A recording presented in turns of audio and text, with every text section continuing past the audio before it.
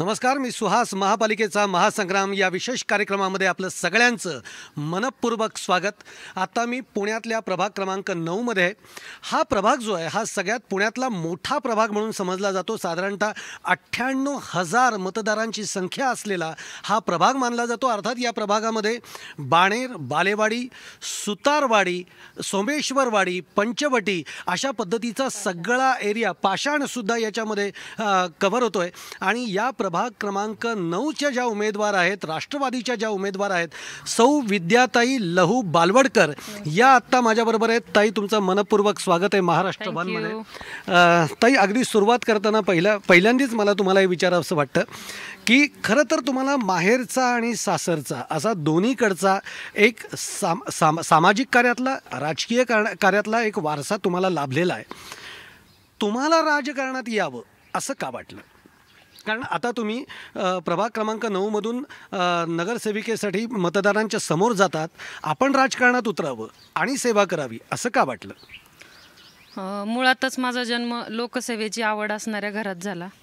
त्यानंतर माझे पती श्री लहू गजानन बालवडकर यांनी गेली दहा ते बारा वर्ष या प्रभागात कोणतेही राज राजकीय व्यासपीठ नसलेल्या अशा म्हणजे राजकीय व्यासपीठ नसताना देखील आपल्या बानेर बालेवाडी या प्रभागात सामाजिक कार्य केलं. त्यांच्याच प्रत्येक सामाजिक कार्यात माझा सहभाग होता. राहिलेला आहे. इथून पुढेही राहील. त्याच सामाजिक कार्याला आता नवीन वळण द्यायचंय. त्यासाठी मी आता या म्हणजे ते कार्य तुम्हाला पुढे घेऊन घेऊन जायचंय. किंवा माझ्या माहेरच्या आणि सासरच्या दोन्ही लोकसेवेच्या वारशाला आता इथून पुढे पुढे न्यायचे. त्यासाठी एक नवीन वाटचाल मला सुरुवात करायची. ताई तुम्ही म्हणता ते अगदी बरोबर आहे की हा वारसा पुढे तुम्हाला न्यायचा आहे. म्हणूनच मला आता तुम्हाला असं विचारायचं आहे की तुम्ही या निवडणुकीच्या निमित्ताने आता मतदारांना सामोरे जाता आहात. आता सामोरं जाताना मतदारांना तुम्ही काय आश्वासित करणार आहात? काय अजेंडा राहणार आहे? काय मतदारांचे प्रश्न तुम्ही समोर घेऊन जाणार आहात? तसं पाहिलं तर आपला हा बानेर बालेवाडीचा भाग हा आपल्या राष्ट्रवादीच्या दोन्ही तिन्ही नगरसेवकांनी चालू नगरसेवकांनी आत्तापर्यंत प्रचंड विकासाची कामं केलेली आहे. विकासाच्या प्रगतीपथावरती अजून पुढेही कामं चालू राहतील त्यांच्या हातनं आमच्या हातनं. कसं आहे आता आपला जो पुणे एरिया आहे किंवा पिंपरी चिंचवड किंवा हा आमचा बानेर बालेवाडी भाग हा आता स्मार्ट सिटीमध्ये गणण्यात आलेला आहे. तो काय आपला एक म्हणजे पुणेचा किंवा पिंपरी चिंचवडचा महानगरपालिकेचा तो निर्णय नाही आहे तो एकतर आपल्या पुर पूर्ण भारत सरकारचा निर्णय आहे. आपल्या या प्रभागाच्या बानेर बालेवाडी भागाच्या या विकासाला डोळ्यासमोर ठेवून आत्ता आपल्याला भारत सरकारनं त्या स्मार्ट सिटीमध्ये आपल्याला घेतलेलं आहे. जवळजवळ आपली ही राष्ट्रवादीच्या का नगरसेवकांची जी कार्य आहेत ते पन्नास ऐंशी ते पंच्याऐंशी टक्के विकास इथं झालेला आहे. म्हणजे मुळात तुम्हाला म्हणायचं की ऑलरेडी स्मार्ट सिटी आहे. स्मार्ट हा ऑलरेडी स्मार्ट सिटी आहे. त्यामुळं भारत सरकारने आपल्याला त्याच्यात निवडले हा मानाचा तुरा आपल्याला इथं लागलेला आहे. पाण्याचा जो एक मुद्दा आहे या सगळ्या भागामध्ये आपण बघितलं तर पाण्याचा मुद्दा खूप जाणवतो आहे अनेक लोकांचं असं म्हणणं आहे की एक वेळ पाणी मिळत आहे. पाण्याचा पुरवठा कमी पडतो आहे. आणि हा इथला ज्वलंत मुद्दा आहे. मी समजतो की लोकसंख्या वाढतीये त्यामुळे हे सगळे प्रश्न वाढणारच आहेत.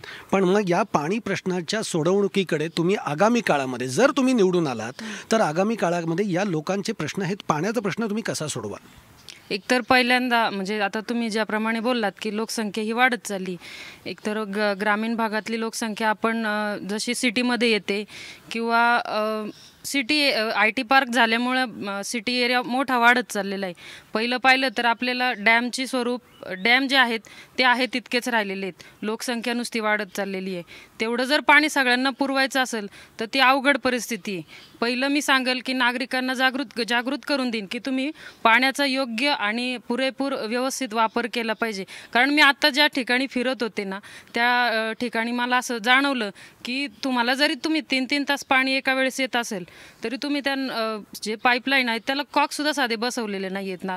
जरी तुमच्या नगरसेवकांनी तुम्हाला ते बसून दिले तरी तुम्ही काढता. हा नागरिकांचा प्रॉब्लेम आहे.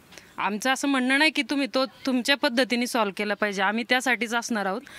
पण जर तुम्ही स्वतः नागरिक आपण एक जागरूक नागरिक अशा हिशोबाने जर तो प्रश्न आपल्या पद्धतीने सोडवण्याचा प्रयत्न केला तर तो सगळ्यांनाच सोपा पण जाणार सगळ्यांना आनंददायी पण असणार आहे. म्हणून प्र पहिला प्रभाव असणार की नागरिकांना जागृत करून देणार की पाणी हा ज्वलंत एक प्र समस्या आहे.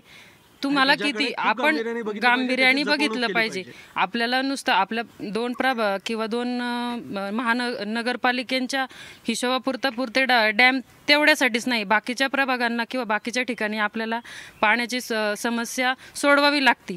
त्या हिशोबाने नागरिकांना आम्ही जागृत करून जे पाण्याचा प्रॉब्लेम येईल त्या प्रॉब्लेमला कुठल्या पद्धतीने कशा रीतीने आपण सोयीस्कररित्या सगळ्यांना पाण्याची किंवा आपण पाण्याच्या टाक्या आता इथं बानेर बालेवाडीमध्ये आपल्या नगरसेवकांच्या माध्यमातून म- मोठ्या मोठ्या टाक्यांचं इथं चालू केलेले आहेत. जर काही लोकांना ते किंवा अजून बऱ्यापैकी लोकांना माहीत नाहीत की आपण हे चालू केले आपल्याला जे पाणी येतं ते कुठून येतं?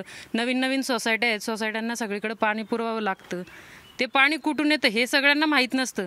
ते एक सांगितल्यानंतर आपण आता आहे निवडणुकीचा काळ म्हणून नाही की निवडणुकीचा आत्ता काळ आहे म्हणून त्यांना आता सांगितलं पाहिजे. अशातला भाग पण नाही आहे रेल्वेवरनं औंधमध्ये येण्यासाठी जो ब्रिज होतोय तो अजूनही अपूर्ण अवस्थेमध्ये आहे.